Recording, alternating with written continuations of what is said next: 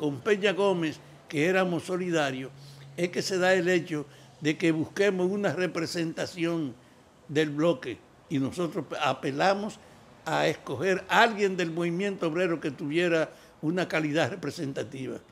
Y es con esa función que José Blanche llega a la Cámara de Diputados en 1990, movido por el interés de seguir impulsando la representación de los trabajadores y por tener en el Congreso una persona confiable que pudiera promover precisamente las aspiraciones revolucionarias de nosotros.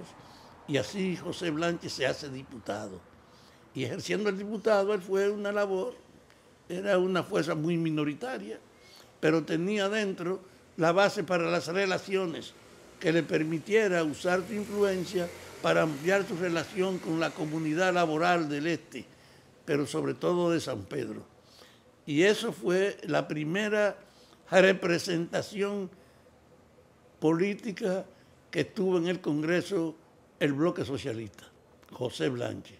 Entonces, a partir del 90, que permitió que lo escogiéramos a él, José fue en cierta medida un vocero oficial de las demandas obreras, pero además un personaje vinculado esencialmente a nosotros para profundizar la organización en la base de las corrientes laborales.